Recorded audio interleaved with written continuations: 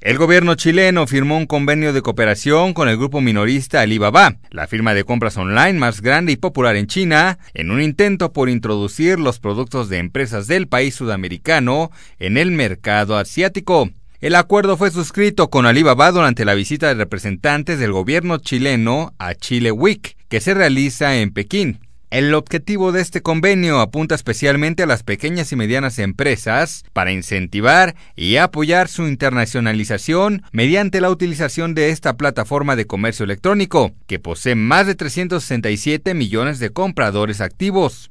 Brian Wong, vicepresidente de Alibaba, expresó que el país sudamericano es conocido por la calidad de sus productos agrícolas, los cuales ayudarán a seguir aumentando su presencia en el mercado chino, especialmente a través de la cocina local.